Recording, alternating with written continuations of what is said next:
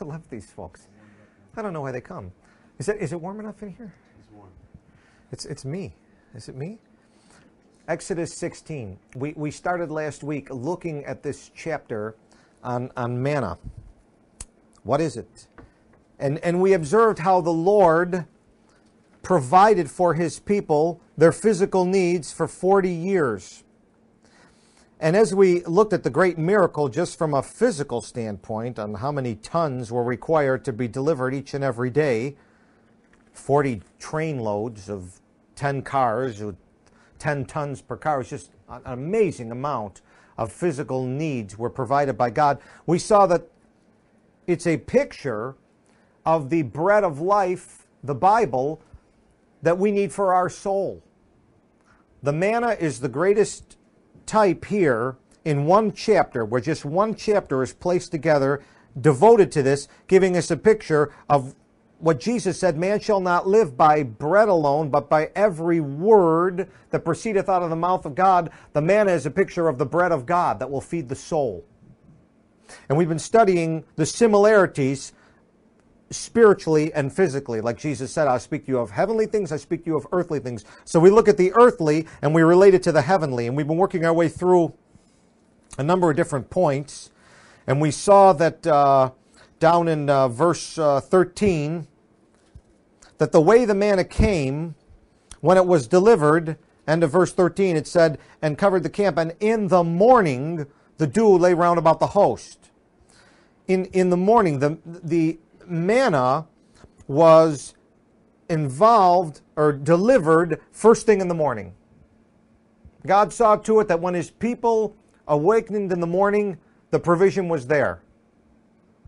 Now, now, he probably could have waited till lunchtime and given a little time to fast and to think and pray. But he provided right away, first thing in the morning, the manna. And they were to go out and gather it in the morning and partake of it in the morning. And you know, Jesus said, Seek ye first the kingdom of God and his righteousness. The kingdom of God here, in terms of the word of God, was provided right early in the morning. So the first thing you want to seek in the morning is the word of God. The breakfast of champions is the Bible, it's not Wheaties. You, you know what most people do in the morning? They get up and read the newspaper. You know where the newspaper will be the next day? It'll be in the garbage. It's old news, it's bad news. This is the good news that endureth forever. Better than reading the newspaper reading the Bible. And you don't have to read a lot of it. It says that uh, the children of uh, verse 17, the children of Israel uh, gathered, uh, did so. They gathered some more, some less. In other words, the reading portion will vary from person to person. It'll vary based uh, on, on your age in the Lord. When you're young, Young children don't eat a lot. When you're older, older people eat a little bit more. It'll also uh, vary based on your level of intellect. God's got all different people with different intellects. Some people may read just a verse a day and meditate on that. Some people will read a chapter a day. Some people will read a book a day. Some more, some less. But the important thing is in the morning, during the day, to get some into you. There was a story I was reading about uh, a man who d- determined that he would just uh, read through the book of Ephesians. The book of Ephesians is a good book. It's a book about the gifts that God's given unto the church. It's a book about the unity of the church. And of course, that's something we need is unity in our churches. There's so many divisions and fightings. Paul was very upset with the Corinthian church because of all the backbiting. And he said, You're carnal, you're babes. You need to grow up and be a little more spiritual. So he says, I'm going to read through the book of Ephesians. And what he did was, just in the morning, he would read one verse. Just one verse. And he'd meditate on that verse all day long. And you know, he said that one of the things that happened was the Lord would send someone in his path during the course of that day where some portion of that verse was able to minister to them. The Lord is faithful if we would be faithful. I, am I'm, I'm always amazed. I see people reading that newspaper. It, it, here it is. We've got manna. Newspaper is uh, processed wheat with sugar. Manna is healthy. It's got all the nutrients and all the vitamins for our soul. Now he said in verse uh, 4, talking about how he would deliver it, then said the Lord unto Moses, He says, Behold, I will rain bread from heaven for you. That will be my part. I will rain the bread from heaven for you. And the people shall go out and gather. In other words, God did his part in delivering it from heaven. There was labor involved for the people, but the labor wasn't to go out and get the Word of God. God had delivered the Word of God. Their job was to pick it up and avail themselves of it. Once delivered, then all you have to do is just go pick it up and read it. See, God has given the Bible to us. I'll never understand where there are groups of committees trying to rewrite it all the time, as if God hasn't done his job. God says, I will rain the bread from heaven for you. He's done his part. I don't understand why people are arguing about every little word, ever studying and never able to come to a knowledge of the truth, and doting and questions about words which do not profit. God says, I'll rain it. All you have to do is go out and gather it. Your part is just to go gather personally to yourself. I've done my part. You do your part. The people shall go out and gather it. Uh, Proverbs chapter 15. Proverbs chapter 15.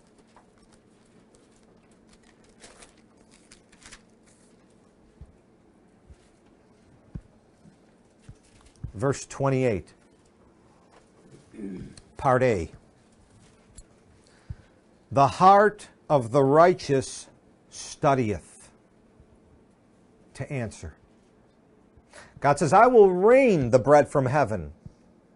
You go out, and your labor is not to obtain it. I've already given it to you. Yours is to take it and study it. The heart of the righteous. Are you righteous? Do you have the righteousness of Jesus Christ? Do you have the righteousness of God without the law? Then your heart, as a righteous person, should be to study this thing, to answer. To answer whom? The people around you that have questions about the one true faith that's been delivered to the saints. About what you and I have that the rest of the world is groping, or, uh, groping about in darkness, trying to find a relationship with God. And the only way we can ever assure them is through the words of this book. You know, at the, at the hospital this week, there was a woman talking to me. We had a break. She works as a nurse and uh, she's dabbled in all kinds of religions. You know, I was a Buddhist and I was a Methodist, and now I'm studying this and all that kind of thing. And uh, I, I, think she wants to know God.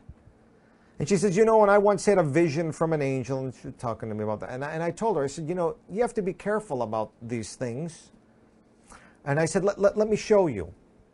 And I opened my Bible, and, and I pointed her to verses that could answer the very questions that she had. Now, I wouldn't be able to do that had I not spent some time studying so that I knew where to take her. And, and every time she had a you know question or a concern, I'd say, well, well, you know, let's see what Jesus says about that. Here, read that. What do you think about that? So, well, you know, and, and, and then I was wondering about, well, let's see what the Bible says about that. Here, take a look at that. And, and because of the time studying, I was able to answer her questions with the Word of God. And she wasn't arguing. You could see that the Word of God was speaking to her heart. And she was, I've never seen it like that before. I, I, didn't, I didn't know that. Look at it, it's right there on the page. So God I will, says, I will rain the bread from heaven, but you have to go out and gather. You have to spend some time studying. Study to show thyself approved uh, unto God. A workman, you needeth not be ashamed that you study your Bible. Somebody asked me the other day, You're still reading through that thing? I said, Yep, still reading through it.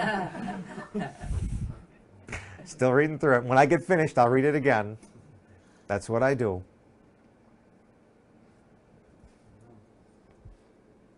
The heart of the righteous studieth to answer. There's questions out there that people have. This book has the answers. And the answers don't change in this book. That's nice. That's comforting to know that there's an absolute truth.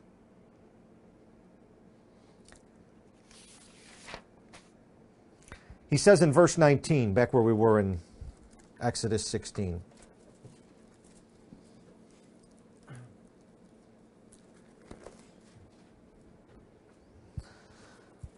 When the Lord did his part of bringing the bread every morning, a fresh supply. Verse 19 Moses said, Let no man leave of it till the morning. Let no man leave of it till the morning. What happens? Notwithstanding, verse 20, they hearkened not unto Moses, but some of them left of it until the morning, and it bred worms and stank. Now, now here's, here's what the Lord would have us to do. He doesn't want the Bible left on the shelf. He'd like us to partake. Give us this day our daily bread. Is, is that one of the prayers that Jesus taught us in the Sermon on the Mount? Now, I know so often we think of, you know, give, give us the daily Wonder Bread or Montana Mills or whatever it is you're thinking. We, we have a physical notation for the verse, but there is a spiritual application to the verse. Yes, our, our body needs to be fed, but we can't live by bread alone. Jesus said that. We need the Word of God to feed our soul.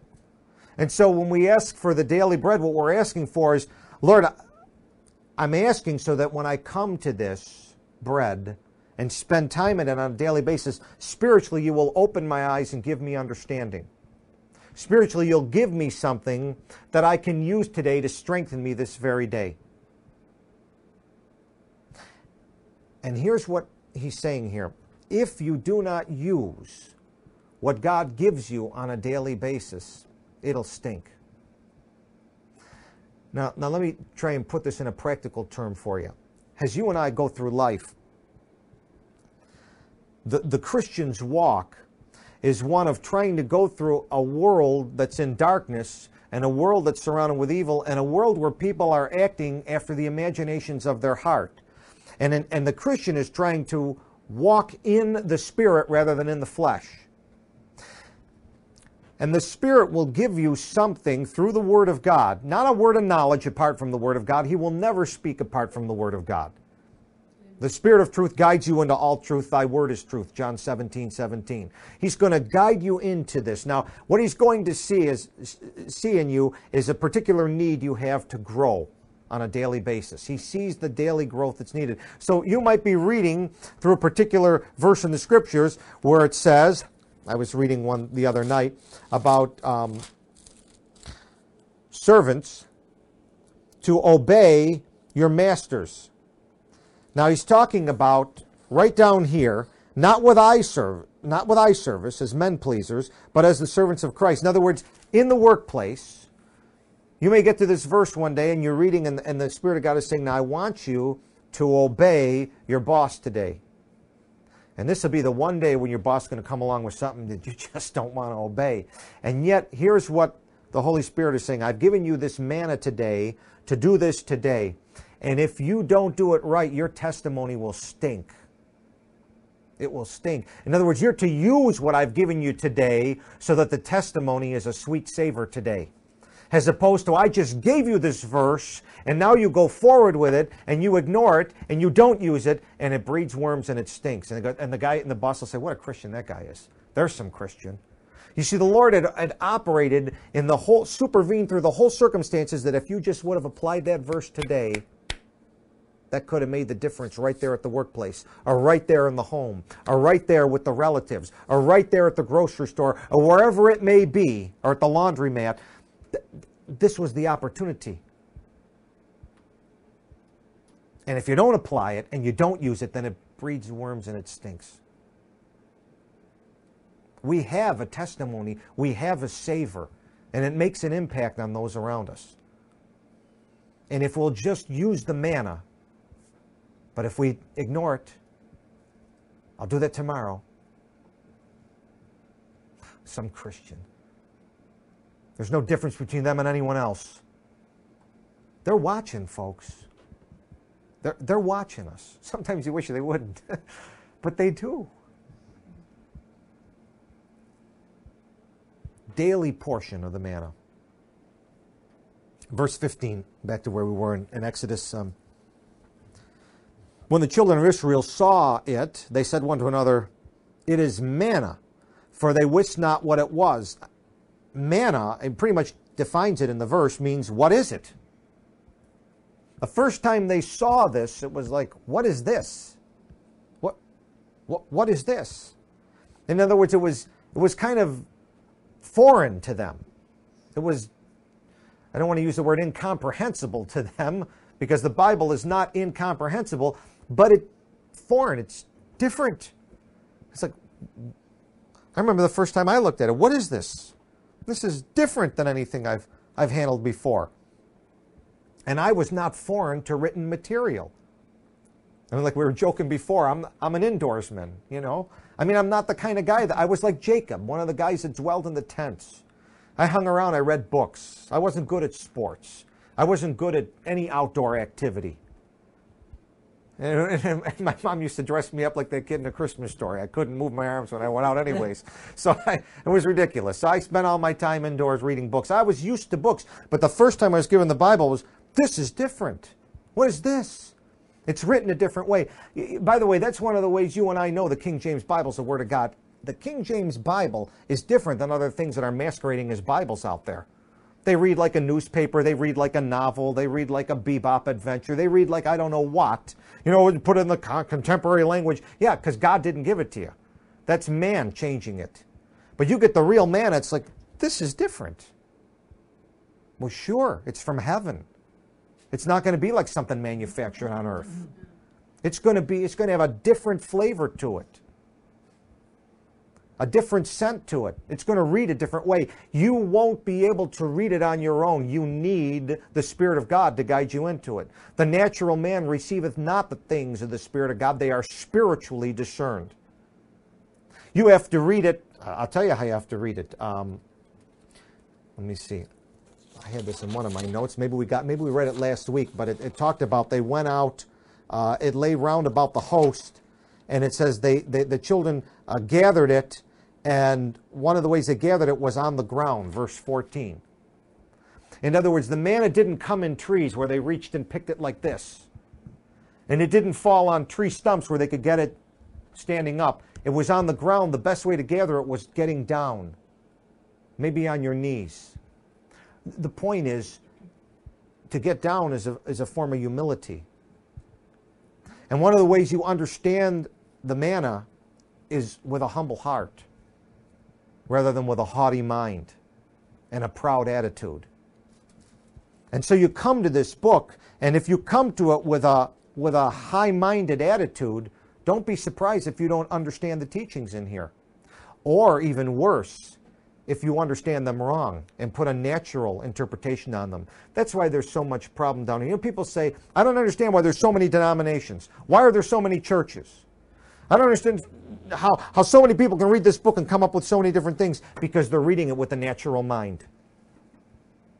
If people would get down on their knees in humility and ask God to interpret it, we'd all come away with God's interpretation. And God's interpretation doesn't change on this book. We, we, need, we need humility.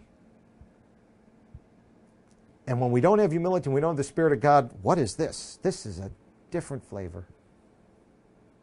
It is manna. It is manna. Now, I'll tell you something interesting. Turn to Numbers chapter 11. I'm going to show you something. A little bit further on in the book of Numbers, uh, God begins to record the journeys of the children of Israel as they go through the 40 year wilderness event. 40 years in the wilderness.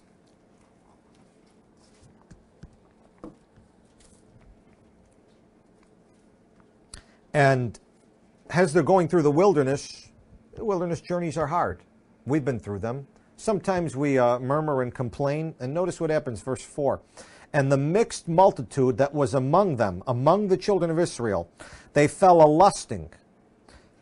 It's the mixed multitude that's beginning this lustful murmuring. And then it says, and the children of Israel also wept again. So the mixed multitude start the problem, and the children of Israel follow along. Sometimes this happens. You know, one person starts with an attitude, and, and starts complaining at work, and then someone else picks up and I go, yeah, yeah, he's right. And then a few other people follow it. Just took one person to start. Here, the mixed multitude are starting a problem. and, and here's what the uh, mixed multitude is uh, upset about. Uh, verse 6. But now is our soul dried away. There's, there's nothing um, at all be, beside this manna before our eyes. They did not like the manna. They, they, they couldn't stand the manna. The mixed multitude turned against the manna. There was another verse, I think, uh, that mentions this in, in the book of Exodus later on, too. But it's talking about the they did not want the manna. They wanted to turn back. As a matter of fact, it says, uh, uh, Who shall give us flesh to eat? Remember the fish that we did eat in Egypt. Uh, freely, and the cucumbers, and the melons, and the leeks, and the onions, and the garlic. Now our soul is dried away. There's nothing at all beside this manna before our eyes. And the manna was as coriander seed, and the color is the color of bdellium. But they couldn't stand the manna. They loathed the manna. The spiritual man loves the manna. The old man, the flesh man from Egypt, loves the old things. And if you've been born again, you have two natures. You have a new nature, spirit born, you have an old nature, your first birth from the flesh. And, and what the Lord doesn't want you to do is follow the mixed multitude into loathing the manna and turning back to the old things. Now, now, what I'm talking about here are specifically things that have to do in your relationship with God. I do not know where you came from in terms of your religious past. Hopefully, you came as an atheist. then you had no relationship with God, and so there was no fish and onions and garlic to fall back on. But, but if you come from an old religious system where you were eating fish and onions and garlic from Egyptian religions and old religions, you have to be careful because what happens is over many, many, many years of, of following that religious system and eating that particular food, your old flesh is comfortable with that. And when you get born again, God wants to feed you with manna. He doesn't want you turning back to those old ways. One of the most grievous things I see is a born again Christian, they receive Jesus as their Savior in sincerity of heart and they don't get grounded in the Word of God, they don't get good teaching in the Word of God, and they fall back into the old religion.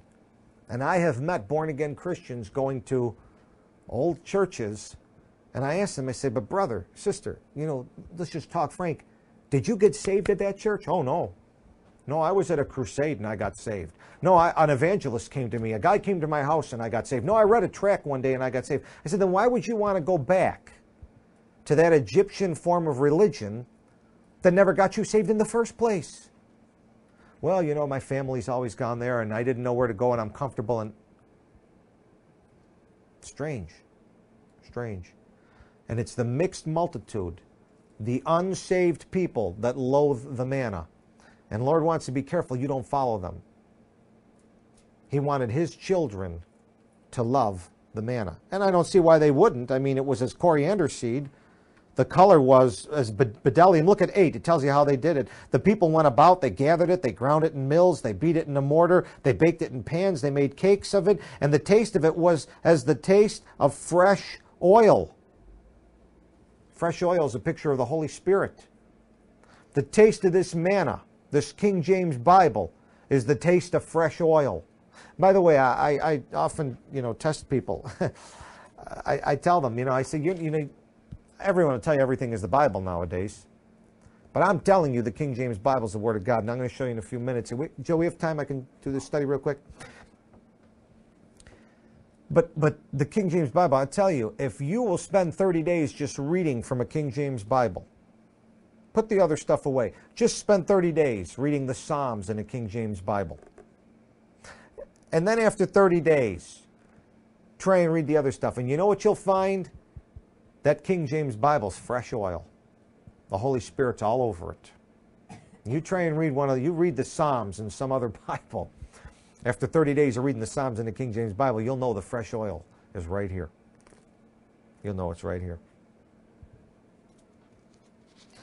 I'll finish. I want to sh- finish a few more things. Go back to where we were in uh, Exodus 16 and look at verses uh, 32 through 34. The mixed multitude. They couldn't stand it. The mixed multitude. By the way, think about this. They were a multitude mixed in with God's people. I mean, here's the children of Israel. They're on the march from Egypt to the Holy Land. God is leading them, and there's a mixed multitude of Egyptians mingled in with them on the trip. You know what that's a picture of? Jesus gave that picture in Matthew 13. He said there are wheat and there are tares. And the tares almost look like the wheat. That's a picture of professing Christians that hate the Bible. You got to wonder about them. I was, we were, my wife and I, we used to do door to door ministry in our own neighborhood, going around passing out tracts in our neighborhood. And uh, we, we came upon a house in the neighborhood. We knocked on the door, and the gentleman opened the door, and uh, oh, you're Christians. And, yeah, we're Christians. And, and we got to talking a little bit. And he says, you know, I go to such and such a church. And we said, oh, that's great, brother. And, you know, uh, we said, you know what we're trying to do, though? You could help us out.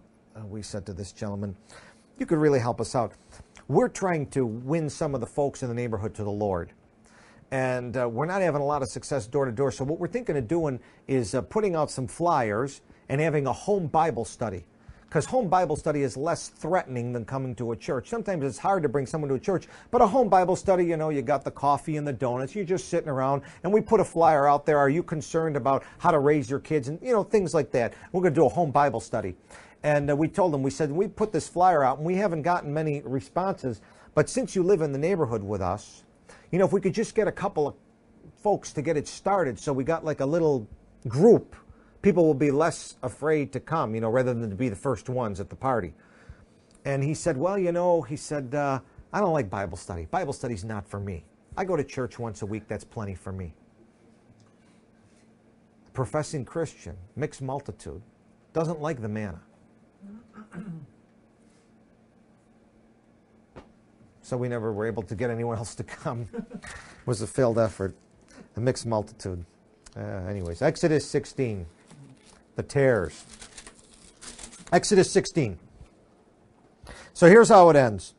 Verse 32 Moses said, This is the thing which the Lord commandeth. Fill an omer of it to be kept for your generations, that they may see the bread wherewith I have fed you in the wilderness when I brought you forth from the land of Egypt. And Moses said unto Aaron, Take a pot and put an omer full of manna therein and lay it up before the Lord to be kept for your generations. As the Lord commanded Moses, so Aaron laid it up before the testimony to be kept. And the children of Israel did eat manna forty years until they came to a land inhabited. They did eat manna until they came unto the borders of Canaan. Now, an omer is tenth part of an ephah.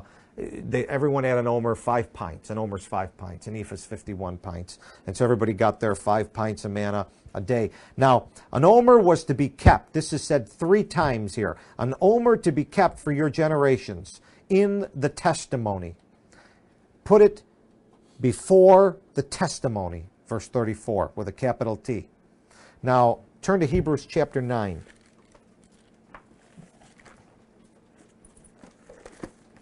Hebrews chapter 9. As they traveled on the wilderness journeys, the tabernacle would be set there, the pillar of fire would move, they would take the tabernacle up, they would follow the pillar of fire, the pillar of fire would come down, they would set the tabernacle up, and they would set it up according to God's design, and in the most holy place, Hebrews chapter 9, verse 2, for there was a tabernacle. Hebrews 9 2. There was a tabernacle the first wherein was the candlestick and the table and the showbread, which is called the sanctuary. That's the holy place. And after the second veil, the tabernacle, which is called the holiest of all. Now, here was the place where God's Spirit resided, in the holiest of all, or the most holy place. What was in there? Which had the golden censer and the ark of the covenant laid round about with gold, wherein was the golden pot that had manna and Aaron's rod that budded, and the tables of the covenant. So in the most holy place, there was God's Spirit, the Ark of the Covenant with the mercy seat, and the golden pot with the manna. And inside, under the mercy seat, were the Ten Commandments. And this was in the most holy place. Now, remember what happened? You left it outside for one day. It would breed worms and it would stink. And now inside this golden pot is manna placed next to the mercy seat, and for 40 years it's kept fresh in the presence of God. What could not last one day in a man's tent was preserved in the presence of the ark. The ark is a picture of the Lord Jesus Christ. Folks, what you and I read in this book, and we can't keep it for a day, you ever feel that way? I don't know about you, but I don't think there's a day goes by where I, where I don't get on my knees at the end of the day and say, Lord, I messed up again. You know, I just, I messed up. I mean, I'm sorry, I messed up. I didn't mean to, you know, and it's usually something particular. I say, you know, with so and so, I messed up. You know, I said something I shouldn't have said. With so and so, I didn't do something I should have did. I mean, every day. The very manna that God feeds me with, I can't seem to keep it going. And in the presence of Jesus Christ, not one jot nor one tittle was broken. It was preserved entirely. Jesus can live the Christian life. You and I can't. Which is why he wants to live it in us and through us. We can't do this in our own strength. We need the manna. We need the Spirit and we need prayer. And still, then, we're going to fall short. A just man falleth seven times, but riseth up again. We don't stay down. We're like Rocky. we get knocked down, but we get up. Ain't so bad. And we get up. Adrian. I mean, but that's that's what we are. But you know what? We need to point people to the ark, to Jesus. But the picture's right there. What can't last a day in our tent, preserved forever in the presence of Jesus Christ. Amen. Now, let me show you something else that's real interesting.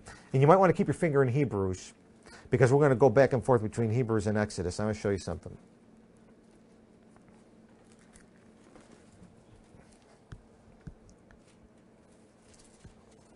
I was reading through Exodus and I observed some things. This particular chapter, all about the manna.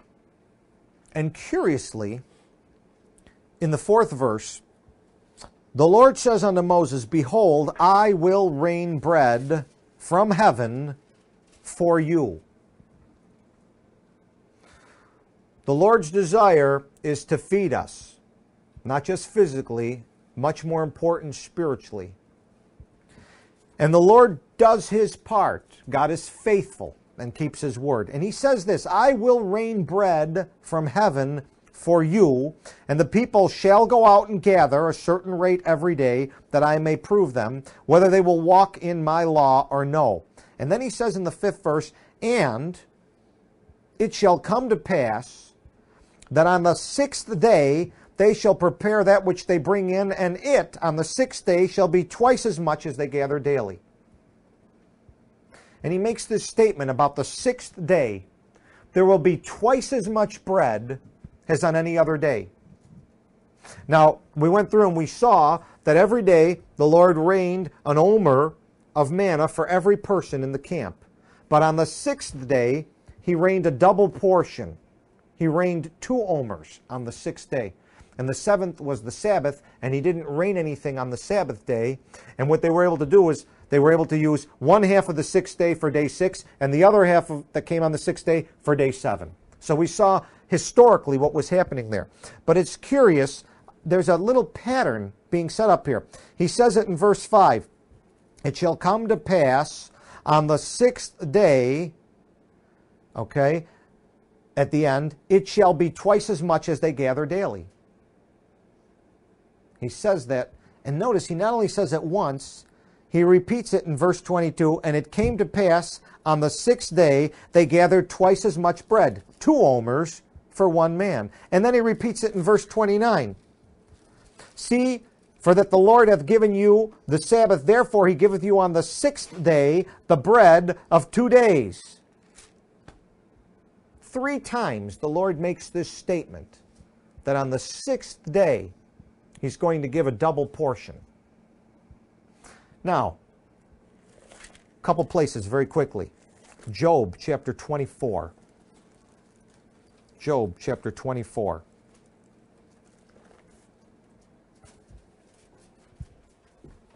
Where's my.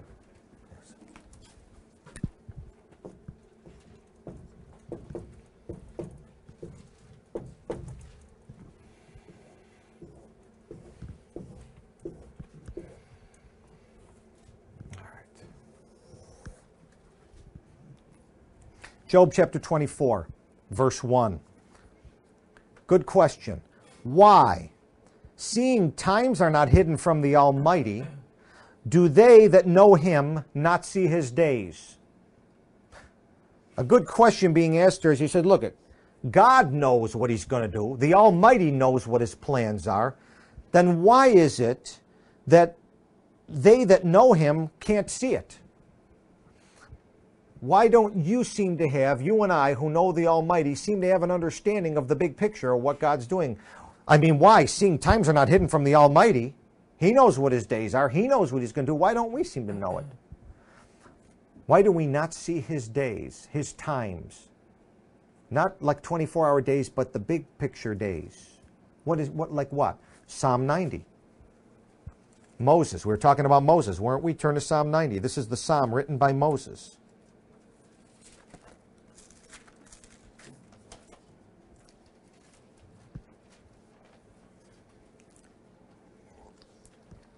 Psalm 90. The prayer of Moses, the man of God. Verse 4 A thousand years in thy sight are but as yesterday. He's speaking about the Lord. First word of the psalm Lord, thou hast been our dwelling place. He's talking to the Lord. Moses is talking to the Lord, and he's saying, When I look at the things you do, a thousand years to you is like one day.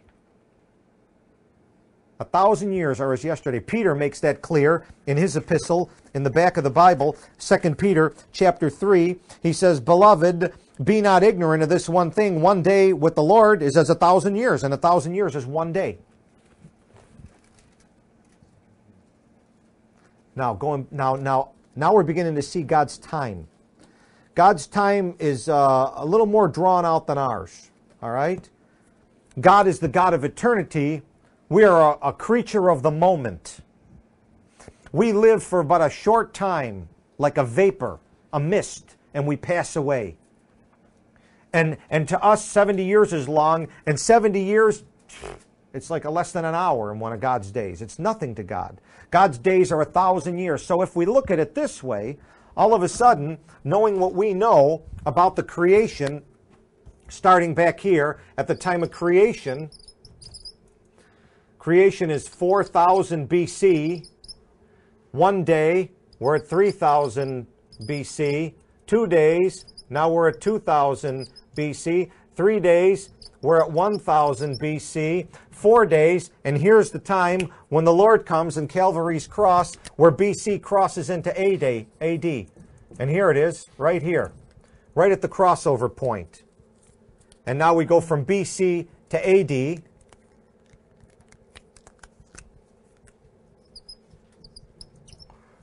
Five days, 1000 AD, six days, 2000 AD. We're living right around this time. And now we understand, those of us who have studied carefully the Lord's work, and knowing that you got to give yourself a couple decades either way. After all, Jesus Christ died on the cross a few decades after this crossover point here.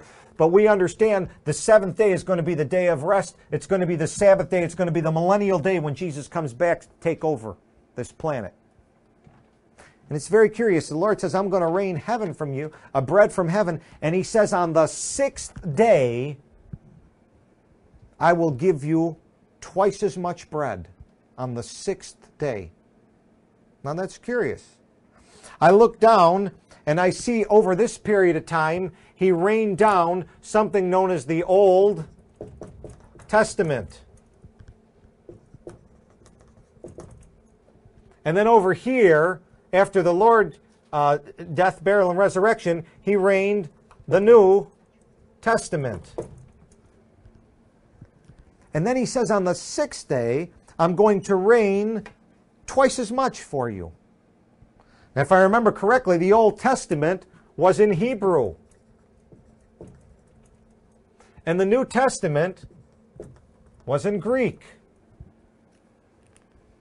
Now, notice where he says this to. The first time he clues you in on this is on verse 5.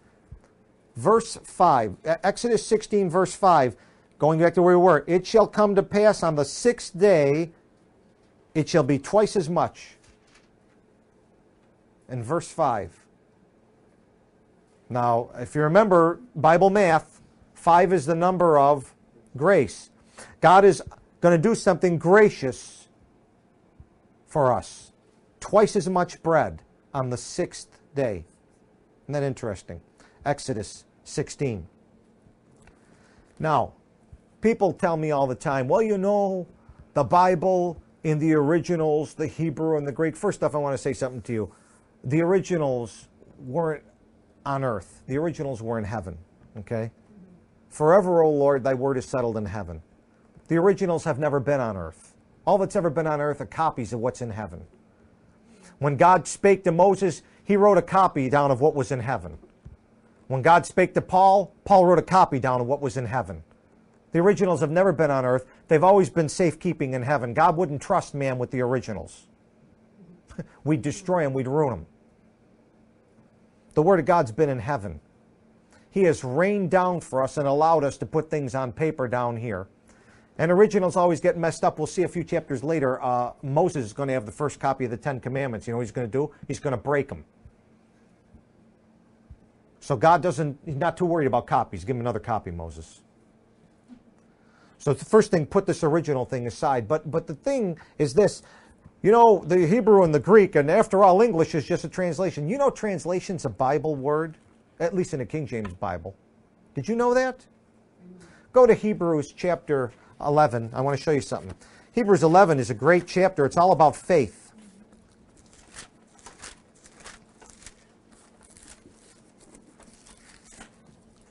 It's the roll call of faith. Hebrews chapter 11. Now, faith, verse 1, is the substance of things hoped for, the evidence of things not seen. For by it, by faith, the elders obtained a good report. Why is that? Verse 6 Without faith, it's impossible to please him. By grace are you saved through through sacraments, through church membership, through baptism.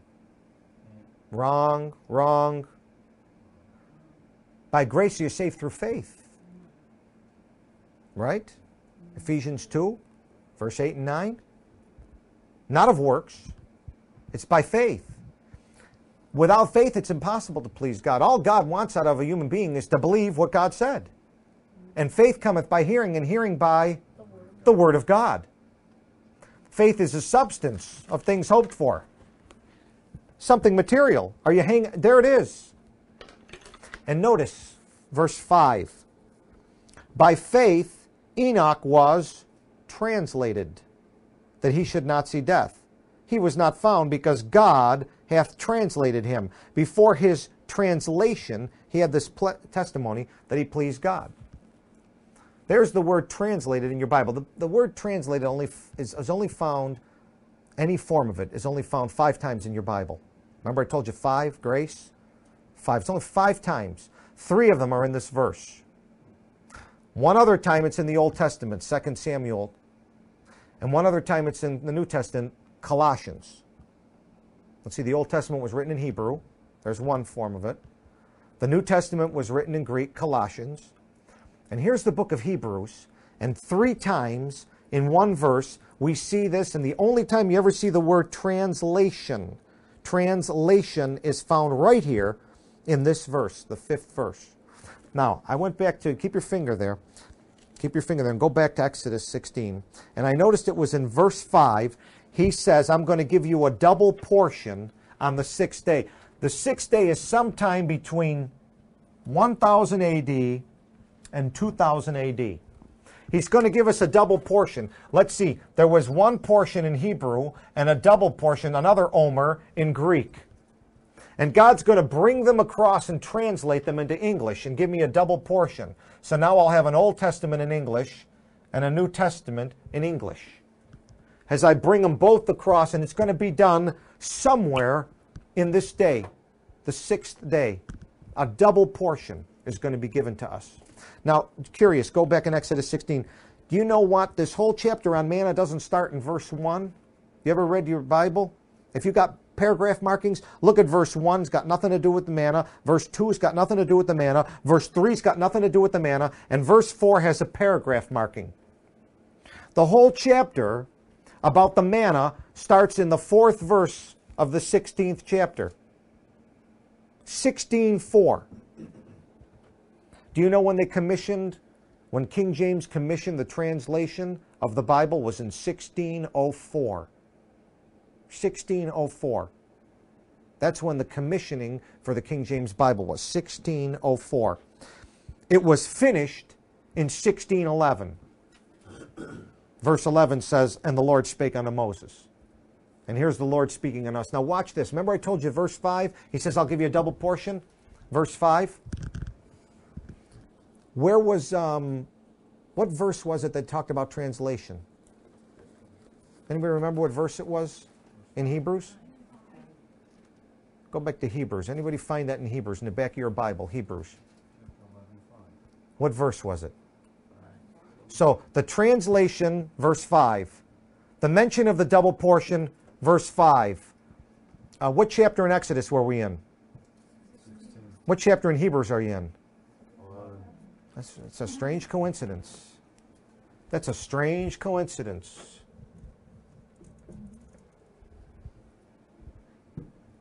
God could have picked any verse.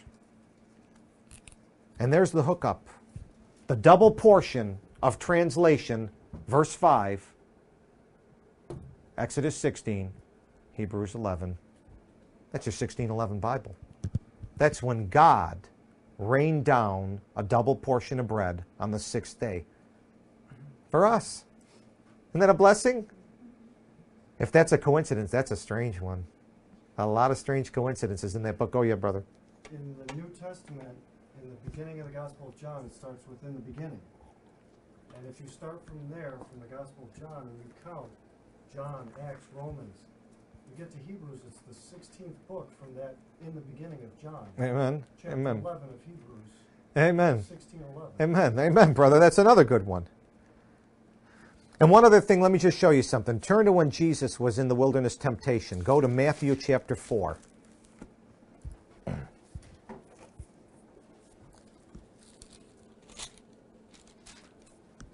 Matthew chapter 4 the Lord Jesus Christ being tempted of the devil. And by the way, there's a lot of names given to the Lord Jesus Christ in the scriptures. Do you know one of the one of the names given that we mention a lot that is found in John's gospel in the first chapter? He's known as the Word of God. Jesus Christ with a capital W. Jesus Christ is the Word of God with a capital W Of course, the Word of God with a little w equals the Bible. This is a person, this is a book. This one speaks, this one is written, although it speaks to us. And Jesus is in the wilderness, he's got the devil. And they're going head to head. And here's how he answers him. Verse 4 But he answered and said, It is written. Verse 7 Jesus said unto him, It is written. Verse 10 Jesus said unto him, Get thee hence, Satan, for it is written. Now, now I don't know about you, if I were Jesus Christ and the devil standing face to face with me and I happen to be this, I'd say, Hey, Satan, get thee hence. I'm the Word of God with a capital W. Don't mess with me. But Jesus set aside his glory and elevated this. He elevated the Bible to set a pattern for you and me that we can always count on that which is written. But you know what's curious? How many times did he say it's written there? Three times. Three times. It is written. Hebrew. It is written. Greek. It is written. English.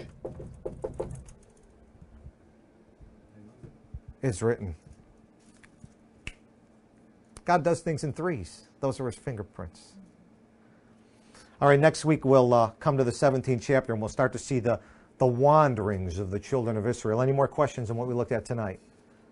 Let's pray. Father, thank you for the uh, perfect, pure, holy King James Bible that is written, the bread from heaven. It's manna. The mixed multitude doesn't like it, Lord. But help your people to love it. And help us every day to go out and gather a small amount. And Lord, give us a testimony, I pray, for Jesus' sake. In Jesus' name we pray, amen.